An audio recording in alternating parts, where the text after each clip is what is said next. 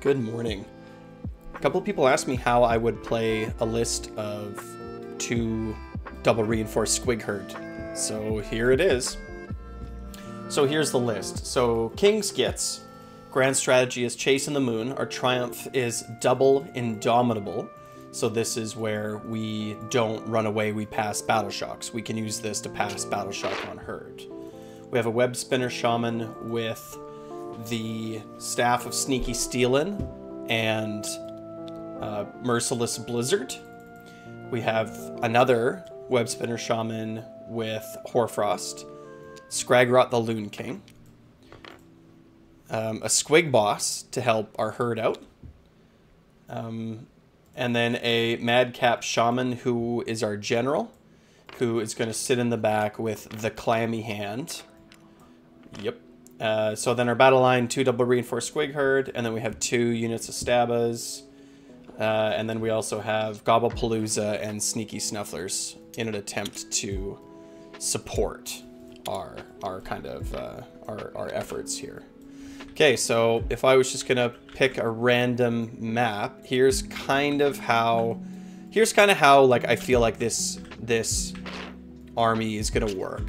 So of course we have our two units of Squig Herd and we have our Squig Boss. So the important thing with the Squig Boss is that we watch our ranges. We need to start the game with both of our Squig Herd wholly within 12 inches of our Squig Boss. It's also generally a good idea. I think we're only, um, we're fairly high drop, so we might get attacked. So we just need to make sure that our Squig Boss isn't uh, deployed right at the front so that he can't get got with uh, the rest of our uh, army. I mean, realistically, like this list here plays the Andorian Acolytes and then Warlord Battalion, and the Warlord is used for the double Triumph. But I mean, I think that uh, you could definitely go with just trying to be two drops. I don't think that you need. I don't think that the um, Andorian Acolytes is super useful because there's no spells that you really have to get all of our most important buffs in this list just come like for free, like from Squig Boss and Gobbapalooza. And there's so many casts, right? Gobbapalooza has two, Skragrott has two, we have two uh, web spinners and a fungoid, so we are at seven spells, and nothing in particular really has to go off, with the exception of maybe Hand of Gork. But I mean, like, there's not really a ton of stuff going on. Oh yeah, and our um, that's what our Madcap Shaman has in the back for spell is uh, Hand of Gork.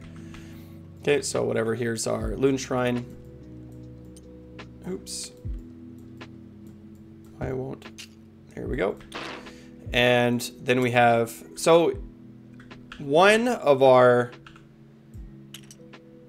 Squig herds is going to get Gobbapalooza, and one of our Squig herd is going to get Sneaky Snufflers. They play very similar roles. Sneaky Snufflers is going to give their 5 up ward, and Gobbapalooza is going to give their minus one to hit. So both of these units are providing some kind of cover and a defensive buff for the herd. Okay, um, Skragrott does sort of his own thing, right? He can sort of go where he needs to be.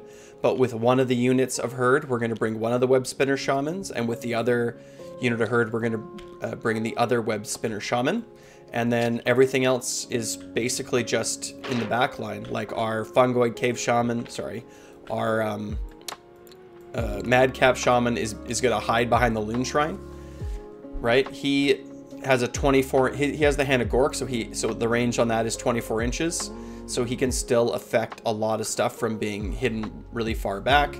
He also enables our Grand Strat. He just has to be under the light of the bad mood for three turns, so he's essentially going to guarantee our Grand Strat. And um, yeah, like he doesn't need to do anything or be anywhere.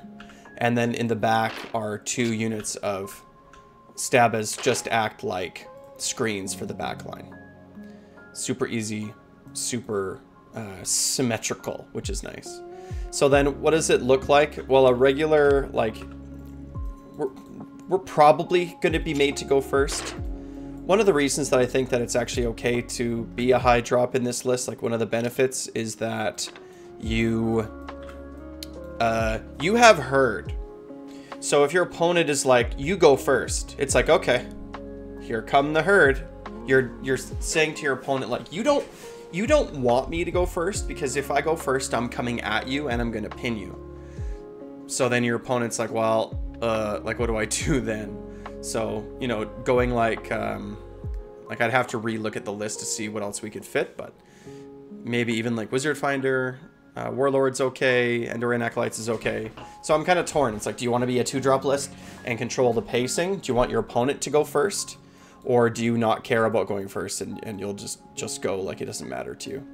But here's kind of the idea, okay? So one unit of herd is going to be our aggressive unit of herd. They are going to get the uh, Squig Boss that goes with them. They also have the um, uh, one of the web spinners that goes with them. And I'm kind of thinking that the web spinner, if you want to have one web spinner that has Hoarfrost, it's going to pair with the Squig Boss.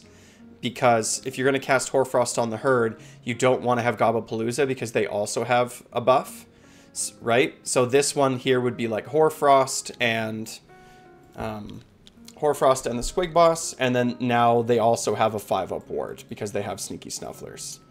Right, and again, Sneaky Snufflers is a good teleport target to teleport it up to the front, and they act as a really good uh, screen. Right, they're actually surprisingly tanky.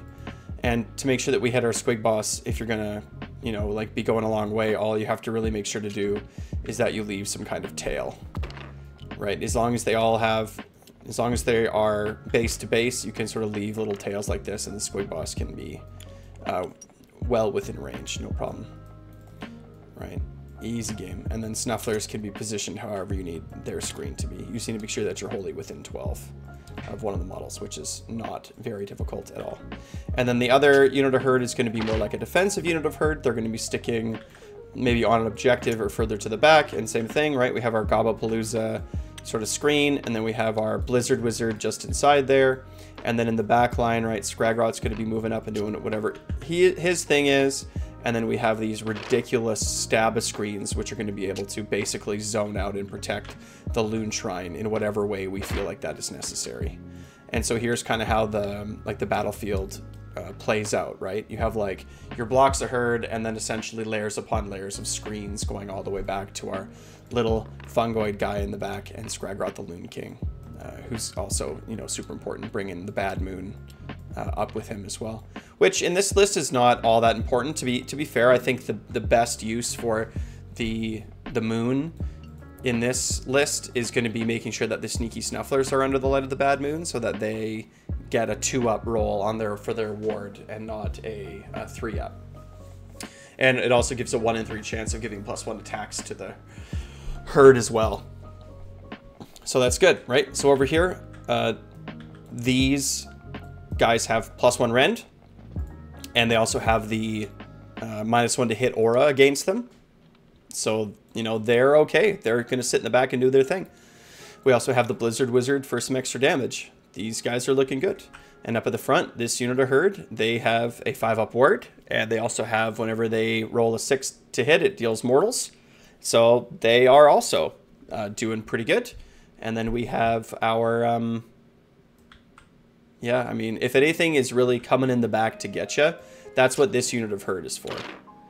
This unit of herd is, is playing more back. They're playing more defensively. So if I wanted to, let's say, throw on an actual um, an actual real state of the game.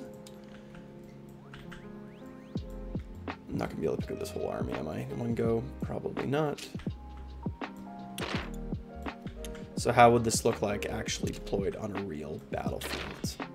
Let's get a random, some train bits. Sure, it's fine. Okay, so gonna stick the Loon Shrine somewhere up turn it like this. Cool. If I'm a million drops, well, the first thing I'm going to do is stick my little shaman behind. No big deal. Got my herd coming up the front. So this is what Fountains of Frost. So the special one is that we can have a ton of stuff stacked on an, on an objective, right? Yeah, score one, score two, score more, and then you just can't have three more units on an objective. Cool. So the herd's to come up to the front here and probably line up like something like this. Cool. This herd is to come up to the front like this. Um, let's just go all in on one side. How about? stick these guys up here. There's the odd dude in the back that needs to get rearranged. Cool. Snufflers position themselves over here. They're probably going to be teleported. If I was a little bit more worried about like screens, I could also position them more like this. Right, just zone them out. Maybe I use them just to take this objective at the start. That's fine. Here's one of my fungoids, or my, um, whatever they're called. Uh, uh, yeah, fungoid cave shamans. If I know that I'm, i get to go first, I can stick Squig Boss up here. I didn't do a good job of releasing the squigs, did I? Nope, I did not. We have to make sure that we're wholly within 12.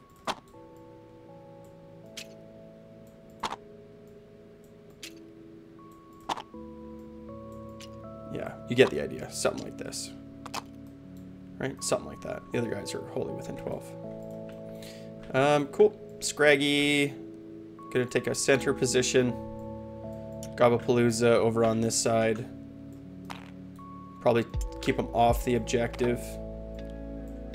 Whatever. And then our Stabbas are just gonna sit in defensive positions ready. I mean, I if I want, depending on the army that I'm playing against, depending on what kind of movement shenanigans and teleports they have, like I could stick them over like this, or I could stick them somewhere like this and really create like a long, annoying screen to get through, right? I could do something like this, right? And just zone out a bunch of stuff in the back line, right? Because like there's not going to be, this is nine inches, there's not going to be a ton of room right? So if I just position somewhere like this, there's nowhere that they can teleport on my back line. Or I could keep them, if I was concerned about like more like a flank attack, I could stick them in a position more like this. And then as everything else sort of moves up, they can sort of tighten in on the shrine and just sort of put, put themselves in a position where they're just zoning out whatever needs to be zoned out. And that's all they're going to do. They're just going to sit in the back. They're going to sit in the back. They're going to cap my own objectives and they're going to play defense. Okay, that's the move, right? And then so turn one, what I'm looking for is uh, I'm going to unleash the squigs and then I'm going to move the squigs forward. So they're going to go like quite far up the board, right? So like these squigs, for example, are going to try to come in here and, and, and pin and be just be really annoying over here. And this unit of squigs is probably going to move somewhere just uh, up closer into the middle, right? Squig boss is going to come here. We're probably going to end up with a tail coming backwards to the squig boss as I said before, these snufflers are gonna come and like zo like be a be an annoying screen over here. Just gotta make sure that you know we're wholly within 12 of whatever of wherever they are, and then they, the snufflers can actually space out a little bit like this and just kind of be annoying and in the way. If they die, that's okay because we're playing King's Gits and we have the clammy hands. So if, if they die, they're just coming back and we can teleport them back to the front line wherever they, they need to go. Right? They could even sort of curl back so that we're not exposing ourselves really at all. A nice solid line. It's like, come at me, bro. You know? Get, out, get off there. Doesn't matter. Uh, my unit of stab is, is gonna like, whatever, like close in and, and stick like over here, or something like this, right? Just, just kind of screen. And this unit of Stabbas is just to do the same thing. They're just to slowly kind of come back. Scraggy's going to move up. This guy's to sit back here and do nothing. And uh, Police is to do the same thing on this side. They're to just like be kind of an annoying uh, screen for the herd. And these, this herd doesn't even really have to go anywhere, right? Like they can just kind of hang out and uh, and be annoying and like take objectives and, and whatnot. So they might just be setting up, getting ready for the next round you know, I could even stick him in a position where the uh, the herd is is uh, or the squig boss is ready to buff them next, if that's what I feel like I need to do. And then you know, our our, our Gobbapalooza can just be another sort of line of defense here against uh, the middle, depending on what I'm concerned about. Right, they got to be wholly within 12 of the spiker to get the to get the buff, and they got to be wholly within 12 of it, the uh, Shroomancer to get that buff as well the minus one to hit aura. So here we are, right? It's like we got five up board, minus one to hit, attack damage, Hoarfrost. We got our Blizzard Wizard is probably trying to make his way up to the front somewhere. I don't know where he is. He's lost in the shuffle. But that's all right. And this is kind of how I envision playing this list. So hopefully this is a little bit helpful. Tell me what you would do differently. Like, subscribe, wah.